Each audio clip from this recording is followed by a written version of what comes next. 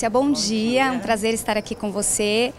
Para quem não conhece, a Márcia é psicóloga clínica e terapeuta de família e de casal, Casa. que é, tem super a ver com o nosso assunto de hoje, tem né? tudo a ver com o nosso assunto de hoje. Ô Márcia, me diz uma coisa, como a gente pode saber se a criança sofreu uma alienação parental e qual o comportamento que essa criança tem para que vocês é, diagnostiquem esse tipo de, de alienação? É, qualquer comportamento de uma criança que fuja do padrão dela, ou medo, ou xixi na cama, ou... É, agressividade com os coleguinhas deve ser investigado, não só pela possibilidade da alienação parental. Alguma coisa está acontecendo na vidinha dessa criança que está deixando-a instável. Então, instabilidade infantil deve sempre ser investigada.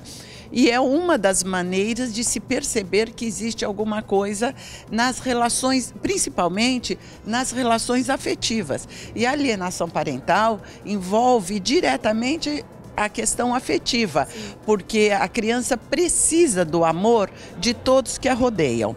Se a alienação é do pai, vai fazer uma, vamos chamar, um buraco na alminha da criança. E a gente está falando muito de alienação de pai e mãe, mas também tem de avós, de família como um todo, sabe? Então a gente tem que prestar muita atenção uh, em qual aspecto aquela criança não está se sentindo alimentada. Entendi. E impedir que a criança tenha esse contato, esse vínculo com os pais, pode trazer que tipos de consequência para essa criança? Olha, são várias, dependendo. Eu acho que a gente não pode generalizar, porque como seres humanos, nós somos muito dinâmicos Sim. e as reações diferem de uma pessoa para outra. Mas o que, que a mãe traz de segurança para a criança? A mãe traz o aconchego, a transmissão afetiva pelo contato, é a questão do, do peito, do do cuidado, que ainda na nossa sociedade, por mais que os pais já atuem como mães e mães atuem como pais, existem algumas características de cada gênero, já cada gênero. A falta do pai é a questão da agressividade em relação ao mundo. E veja bem, eu estou falando agressividade no ponto positivo. Todos nós temos que ter coragem, agressividade e enfrentamento. E na falta do pai, essas condições infantis ficam prejudicadas. É como se fosse uma defesa da criança também? Sim, o pai dá a sustentação, dá a segurança. A mãe dá o calor humano. Sim. A, a, grosso modo. E na falta de um ou do outro, vai falhar nessas questões do desenvolvimento infantil. E uma criança, qualquer pessoa que sofra uma alienação parental, ela deve ter um acompanhamento psicológico. Sem dúvida nenhuma, mas não só a criança, aí é o grande Sim. ponto. Este pai e esta mãe também. também. Esse porquê da alienação. Quando existe alienação, é porque existe alguma questão naqueles dois adultos que não estão sabendo trabalhar. Qual é o, o, ponto forte do ser humano? É a comunicação. Se existe alienação, não existe comunicação. Então, existe uma falta, ou no alienado ou no alienador ou aliena, alienante fica melhor. Então é muito importante que esta família tenha uma visão, a gente tem que ter uma visão da família como um sistema. Não adianta trabalhar a criança e continuar com aquela falta. É, é uma visão sistêmica para essa família se faz necessária. Afinal, a família se completa, né? A família se completa mesmo nos formatos das famílias atuais, que às vezes que tem o divórcio, que tem as famílias homoafetivas, mas os papéis têm que ser bem delimitados. Muito obrigada. A gente aguarda agora começar esse seminário. Eu já estou bem curiosa para ver todo o conteúdo.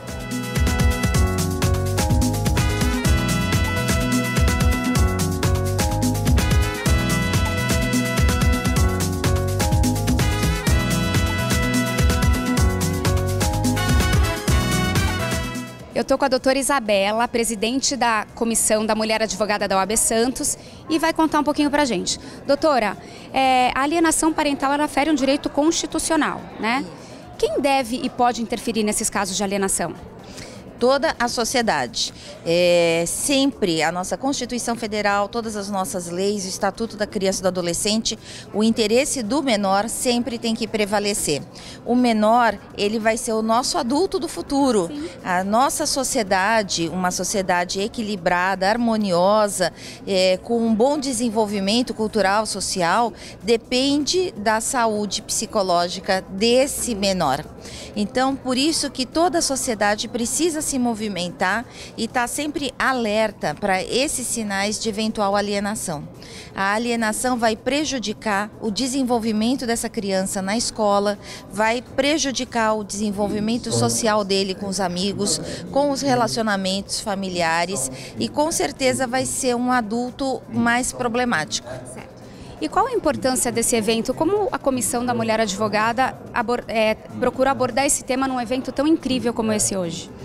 Então, é, o Dia da Alienação Parental é internacional. Isso é um problema que aflige o mundo inteiro e que os estudos se é, mostram né, da importância da gente tratar esse tema, o quanto que realmente isso está impactando no desenvolvimento desses adultos no futuro. Então, isso resolveu ser tratado. Esse dia é um dia pra, de alerta para que todos vejam o o que, que está acontecendo, vejam os sinais para impedir que isso se agrave. Então, nós, é, a Comissão da Mulher Advogada de São Paulo do Estado determinou que todas as cidades fossem atrás de criar uma lei municipal para instituir no calendário público a Semana da Alienação Parental.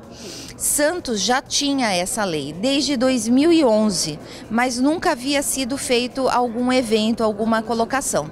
Então hoje é o nosso primeiro seminário de alienação parental aqui na cidade e ele não é voltado para advogados. Ele também é para advogados, mas ele é principalmente para orientadores escolares, assistentes sociais, educadores, para o conselho tutelar, porque essas pessoas precisam estar alertas para esses sinais profissionais para acudir, para apoiar esse menor eventualmente que esteja sendo constrangido.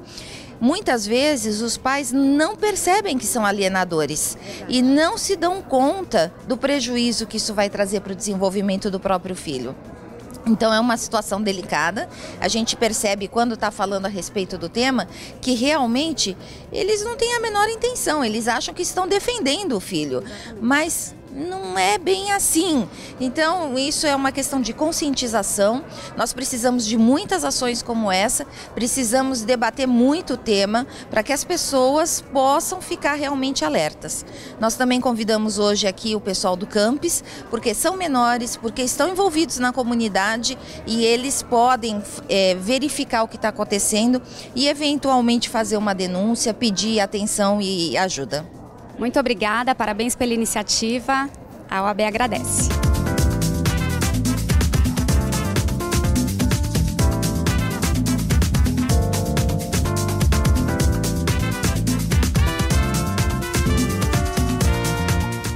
Eu estou com a doutora Kátia Bolos, presidente da Comissão Estadual da Mulher Advogada da OAB São Paulo, e vai falar um pouquinho para a gente. Doutora, a alienação parental é prevista em lei e ela acarreta punições. Quais são essas punições? Tá, antes nós precisamos dizer que a alienação parental é interferência na formação psicológica de uma criança e de um adolescente. É, interferência de modo a prejudicá-lo, né? prejudicá-los ao longo da vida. Então a preocupação em, se, em ter uma lei que tratasse desse, dessa matéria, logicamente, diz respeito a se pretender uma sociedade harmoniosa, famílias estruturadas. Então, as punições só vão acontecer se alguém for é, declaradamente é, considerado alienador ou alienadora. E nesse caso, a, a, haverá punições. Essas punições vão desde a declaração propriamente dita é, de que está ocorrendo alienação parental, até é, estabelecer multa, fixação de domicílio, inversão da guarda, em, podendo inclusive ser essas, essas punições ou sanções serem aplicadas cumulativamente. Doutora, e como é feita a prova de que a pessoa está sofrendo alienação parental? É, a criança é, vai passar por um processo, é, por uma equipe multiprofissional, né, que vai haverá psicólogo, assistente social, e aí é, será, haverá uma avaliação por uma equipe multiprofissional, é, porque a criança dá demonstração de, de, de, que ela está sendo alienada. Ela São comportamentos? É comportamento, ela reproduz. Muitas vezes já se nota é, porque a criança começa a ter baixo rendimento escolar, é, fica agressiva, fuga, rebeldia. É, é, é, muito complicado porque a criança, e depois se torna adolescente e se torna adulto, vai carregar isso para a vida toda. Exatamente. E vai reproduzir isso, inclusive não conseguindo manter é, relacionamentos estáveis, afetivos uh, inclusive tendo tendência ao suicídio. Existem estatísticas que provam maior consumo de, de drogas, de álcool. Então é importantíssimo que nós detectemos o quanto antes, porque são atos que se praticam de modo a que a criança acabe sofrendo uma interferência na sua formação psicológica. Então é muito importante que seja detectado o quanto antes, né, para que se possa estabelecer o tratamento e aí um tratamento adequado, ah, uma reorganização dessa família, né? Porque muitas vezes até o próprio julgador uh, determina o, uh, que eles sejam todos submetidos a uma terapia familiar, justamente. É uma das formas também de se, né, de se tratar judicialmente da questão. E qual a importância desse evento hoje aqui em Santos? é importantíssimo, porque nós estamos completando agora eh, um ano, não é? é? na verdade já o primeiro seminário eh, sobre conscientização, né, de conscientização sobre alienação parental, porque nós estamos trabalhando já desde o ano passado eh, de uma forma institucional. A OAB de São Paulo, por sua comissão da mulher advogada, promoveu esse trabalho em todas as subseções, as 234 subseções, por suas coordenadorias regionais da mulher advogada e aqui nós temos um trabalho belíssimo. Doutora Cátia Cação é coordenadora regional, doutora Isabela de Castro é presidente da Comissão da Mulher Advogada e todas as subseções aqui da Baixada Santista, né, que pertence a essa coordenadoria, tem as suas lei, a sua lei, a eh, lei municipal, suas leis municipais é, sobre conscientização e prevenção à alienação parental. Por quê esse trabalho de hoje? Porque ao longo desse ano, do ano passado para cá, desde que foi aclamado pelo Conselho Estadual da OAB de São Paulo eh, esse projeto, nós implementamos e as coordenadorias vêm trabalhando de uma forma admirável para que se torne realidade. E, e, hoje é a consagração desse trabalho realizado na Baixada Santista. Então aqui estará uh, uma psicóloga que apresentará, a doutora Márcia Tique, que apresentará sob a ótica da psicologia e eu sobre a, sob, a ótica do direito. E nós faremos aí uma interlocução necessária. Direito e psicologia, vamos dizer, conversam, né? precisam somar os seus olhares é, para poder tratar dessa questão que atinge de uma forma tão é, forte né, o seio das famílias. Nós temos que trabalhar de uma maneira incansável, Sim. né? Porque é nosso papel também de advogado, especialmente uma questão institucional, e aqui nós temos o presidente da, da OAB de Santos, né, que dá doutor Luiz Fernando, e que Rodrigues que dá todo o apoio também para que o trabalho seja realizado. Então eu queria cumprimentar e, e agradecer, porque nós já estamos percebendo transformações. Com certeza, é cuidando do hoje que a gente vai ter uma manhã melhor, né? Mas não tenha dúvida. Muito obrigada, parabéns pela iniciativa. Muito obrigada, parabéns a todas e todos que aqui estão. Muito obrigada.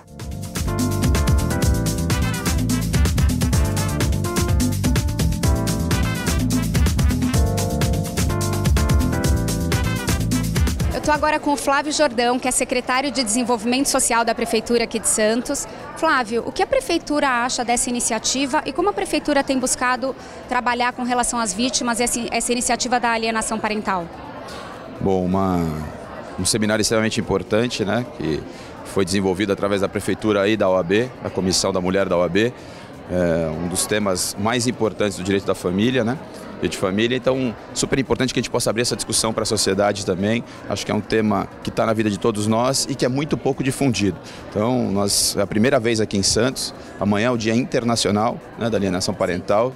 dia 25 de abril, e a gente precisa de fato fortalecer esse tipo de discussão para que a gente possa levar para a sociedade. A prefeitura ela acaba atendendo também essas pessoas, na verdade nós temos um convênio com a OAB, é, que é o CADOG, né, que é a Justiça Gratuita, então as pessoas que tiverem, né, tem um critério para que as pessoas possam acessar esse serviço, tem que ter um, uma renda até três salários mínimos para que ela possa ser atendida pela, pelo CADOG, mas é extremamente importante para que a gente possa é, acionar também, para que as pessoas possam acionar e requisitar a sua justiça gratuita junto à Prefeitura de Santos. Porque muitas vezes a criança ou até os pais não sabem que estão praticando alienação, né? Tanto que esse seminário hoje ele é aberto para educadores. Então, é, é como a prefeitura enxerga essas parcerias com a AB no quesito a conscientização da alienação parental?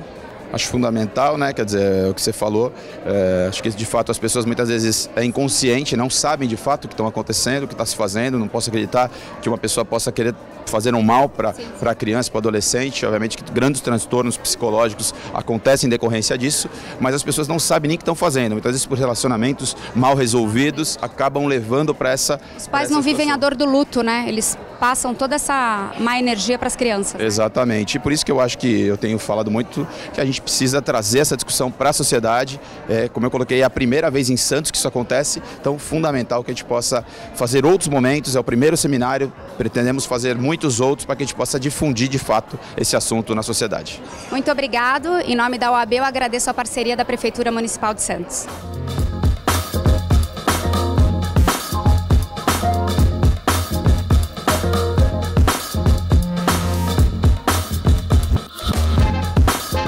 João Paulo, quando o senhor era prefeito de Santos, em 2011, sancionou uma lei que instituiu no calendário aqui da cidade essa semana de conscientização sobre alienação parental. Como deputado, como você enxerga essa iniciativa hoje? Olha, com muita alegria perceber que Santos, há muito tempo, né, desde 2011, já demonstrou preocupação com esse tema. Esse não é um tema fácil, ele se interlaça com família, com educadores, com a justiça. Não é? É uma, uma questão muito delicada e o processo de conscientização, eu diria que é o grande caminho, né? é o melhor caminho. Porque na medida em que pessoas, educadores que têm responsabilidade e também as próprias famílias né, se conscientizam da importância do tema, dos riscos, inclusive legais, jurídicos, mas principalmente dos riscos para a formação, a educação e a formação emocional né, das crianças, é nessa medida que nós vamos conseguir evitar danos maiores à nossa sociedade. Eu acho que a cidade de Santos caminha muito bem na medida em que trabalha a conscientização com educadores que são multiplicadores de, de boas ideias. Né? Acho que estamos aqui no caminho certo. Fico feliz de acompanhar a, a concretização de algo que estava previsto em lei desde 2011. Muito obrigada, bom evento.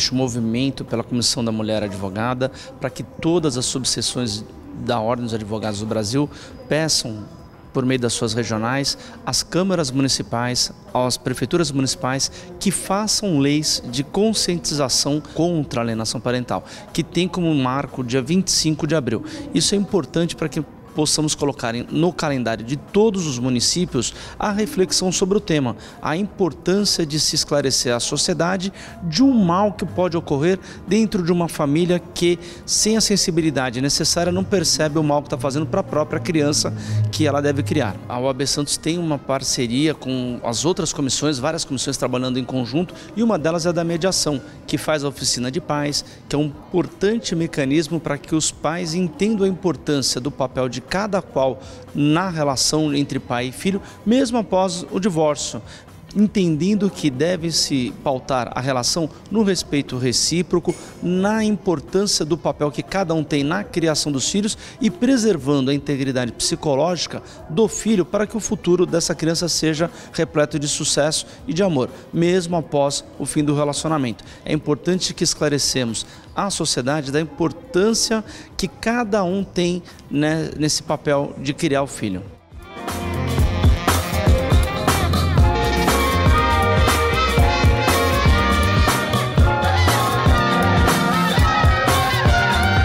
Assumimos o ano passado esse cargo, foi um projeto da OAB São Paulo, instituído pela nossa presidente, né, Kátia Bulos, que passou para todas as coordenadoras regionais, nós somos em 23 no estado, esse projeto de conscientização da alienação parental. A lei aqui em Santos veio desde 2011, mas efetivamente nunca houve um projeto, uma semana dessa conscientização. Então, nós, juntamente com a OAB Santos, fizemos a comunicação né, ao presidente, ele de pronto logo nos atendeu, e a presidente, doutora Isabela Castro, que é a presidente da Comissão da Mulher Advogada aqui de Santos, falou, não, vamos realizar, vamos realizar esse evento. Fomos até a prefeitura e fizemos essa parceria, que é o, o dia de hoje.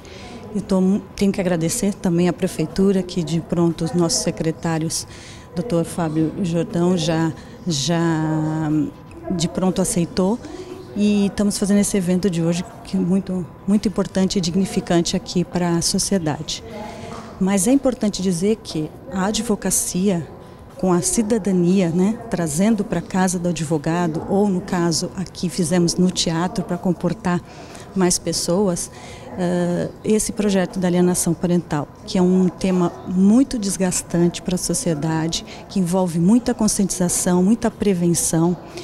Então a gente achou muito interessante essa iniciativa da regional para esse, para esse evento e a participação da, da Comissão da Mulher Advogada. A senhora falou, né, quando assumiu esse projeto, que foi feito todo um trabalho aqui na região. Como é que foi esse um ano e pouquinho para ir atrás das câmaras, das prefeituras, para conseguir aprovar projetos em todas essas cidades? Realmente foi um trabalho árduo, mas é gratificante. Já que eu assumi, nós vamos. Emissão dada, emissão cumprida. Eu já digo, digo sempre isso assim que eu assumi esse projeto. Eh, então, Santos já tinha em 2011, como eu falei. Nossa regional ela é de Bertioga a Peruíbe. E nessa região só tinha Santos e Cubatão, que lançou em 2015. Mas um evento mesmo dessa condensação não tinha. E nós fizemos essa, esse projeto junto com as presidentes do CMA e todas elas eh, fomos até a prefeitura e fomos até a Câmara. E hoje já temos todas as leis. Só Peruíbe que falta ainda que está em projeto de aprovação. Mas de Pertioga a Peruíbe, que é a nossa regional, a gente já tem todas essas leis. De evento mesmo, fizemos Cubatão na, há 15 dias atrás e agora Santos. E aí temos a promessa de até maio e junho fazermos nas outras cidades da região.